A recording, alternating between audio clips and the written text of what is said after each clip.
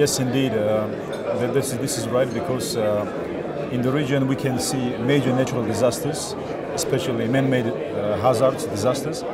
And uh, of course, even in, in Tajikistan, we every year we can see more than 200 natural disasters, from large to medium scale natural disasters. And of course, such platforms, uh, the agenda of today, uh, high-level meetings in, in OIC uh, platform, uh,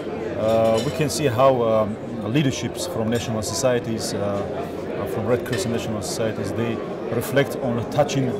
issues of natural disasters. And I think in this platform we can we can find uh, we can dialogue, we can find the solutions how together as, as the region, as, as the uh, OIC members uh, together uh, collectively tackle on uh, in terms of natural disasters, how to be better prepared, how to be uh, effectively uh, how to respond in, uh, in terms of natural disasters, how to allocate our uh, funds, our resources, and of course how to uh, train our volunteers uh, to be ready for future responses for natural disasters. It is very important to include this aspect in the agenda of this high-level meeting. I think in general the event is um, is very productive uh, because uh, many national societies, almost 50 national societies, uh, countries, they participate here. And I would like to mention that uh, young people also, uh, young leaders are participating, contributing to the process of um, identifying the goal,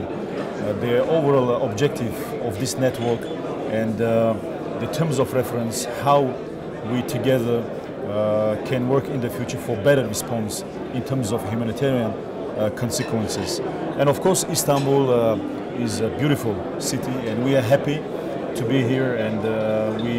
highly appreciate the uh, Turkish Kızılay management, uh, especially the president, uh, Dr. Kerim Kınık, for his invitation to be here and of course to, to be included in the dialogue and to learn different points of view and perspectives from this platform. Uh, absolutely, yes. Uh, as far as I know, uh, and also during the speeches of the president of Turkish Kızılay, and on our past cooperation, bilateral cooperation between the Tajikistan Red Crescent and Turkish Red Crescent in a different uh, medium and large scale uh, initiatives, in particular during Ramadan and Kurban Bayram uh, initiatives through several food distribution activities that we helped in the past uh, vulnerable families uh, in Tajikistan and also in the region. We can see the, uh, the fully support of Turkish Kızılay not only in the region but also other countries, vulnerable countries in Africa or other vulnerable countries in different humanitarian challenges. I think um, Turkey has a, good uh, capacity uh, that we can learn from and improve our systems in terms of uh, volunteering, in terms of uh, natural disasters, and most important, importantly in terms of uh, refugees, camps that they manage a lot of refugees coming from Syria. This is also another aspect that we can learn from each other.